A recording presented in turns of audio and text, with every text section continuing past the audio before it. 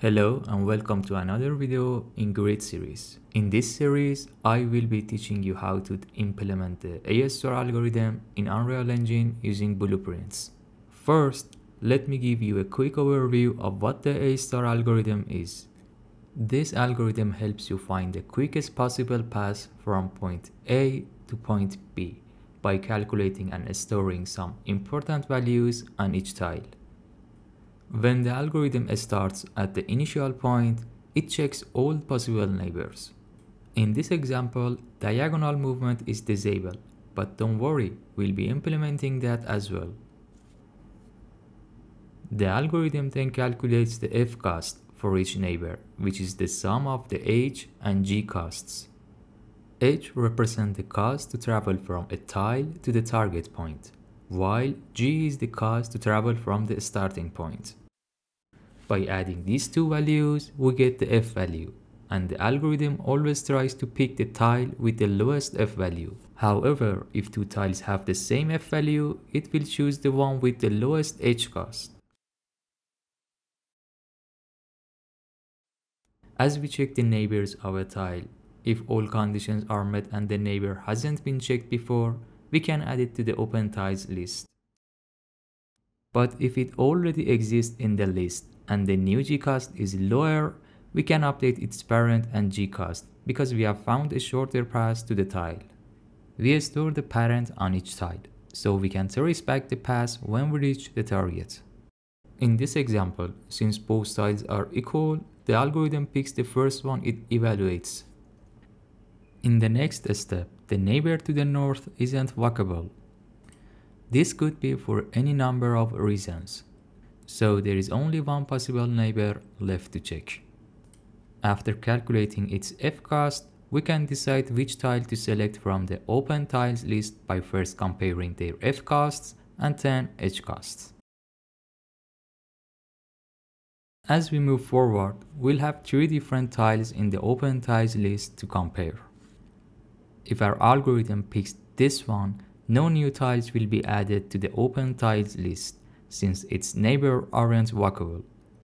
And the only neighbor to the south has already been checked.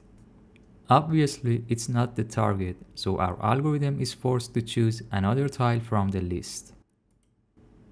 This tile has one neighbor, and that's the algorithm picks because of its lower h cost. This tile has two neighbors and one of them clearly has a lower f cost.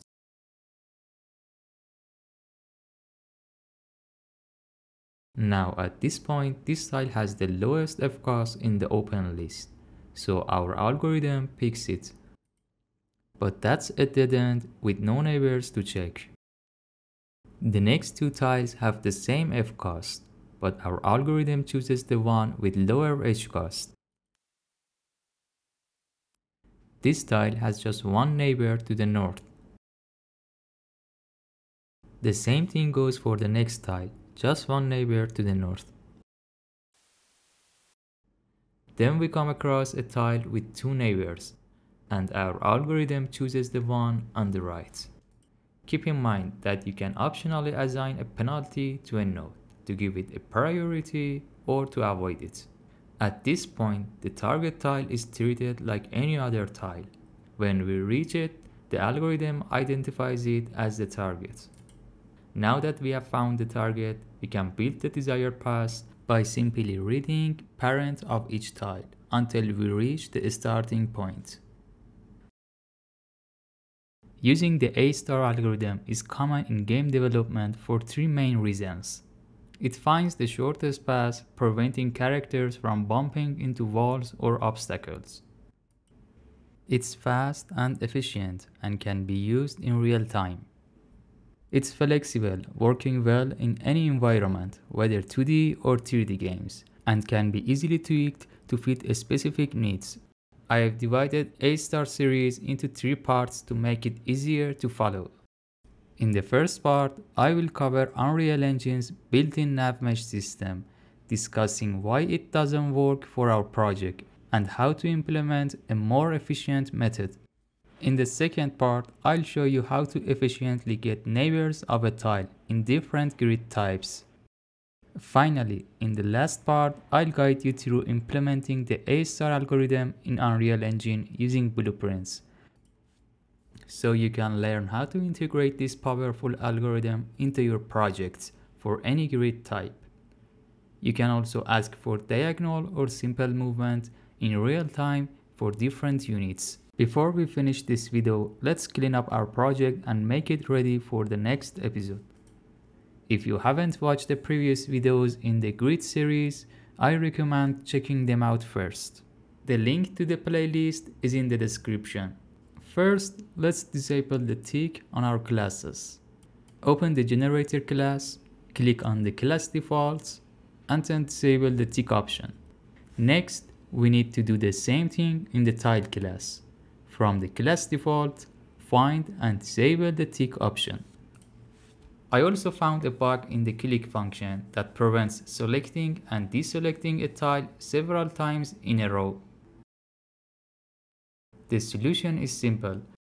If the new actor is the same as the previous one, we only need to reset the variable.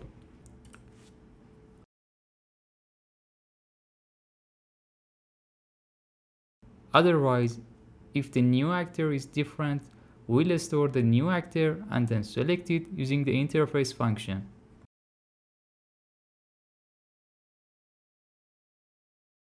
To make our workflow smoother, let's add a couple of new structs. We'll create a data folder and within that a subfolder specifically for our tile data. First up is the coordinate struct, which is simple. We'll use this to replace the separate column and row variables we have been using in our tile and generator classes. I'll name this struct S ASI coordinates. Inside this struct, we only need two variables. The first one is row, which is an integer, and the second is column,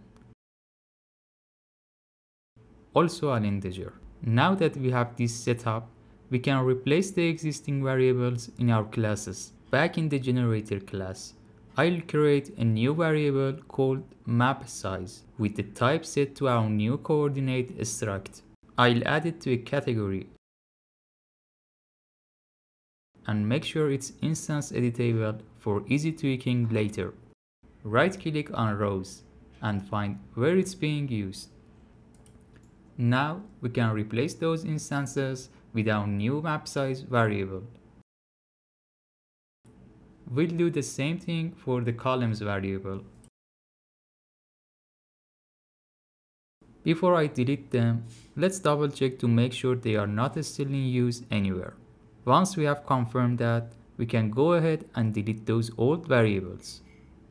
After that, I'll compile the class so we can set some initial values for the map size. I think 5 by 5 is a good starting point.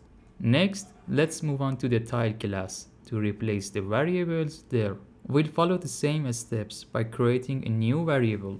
This time, I will call it coordinate. I'll make sure to give it a category before I forget. And its type will be the same coordinate struct we just created.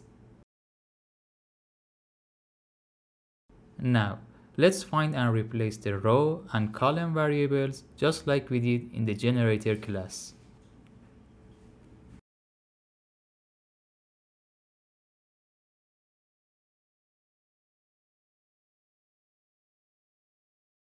If your project doesn't have all these variables, don't worry. It just means you might not have implemented all the different grid types.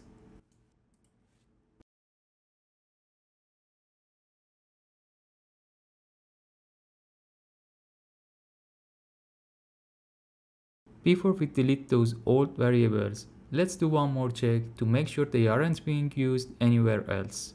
Now that we have confirmed they are not in use, we can go ahead and delete them. Don't forget to make the new variable instance editable and then expose on spawn.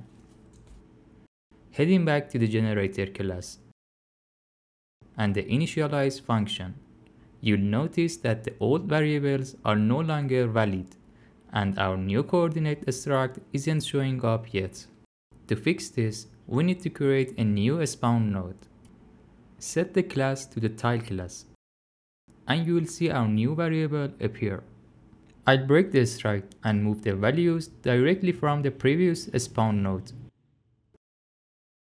I'll do the same for the other connections to ensure everything stays intact. That's it for this episode. Make yourself ready for the next episode.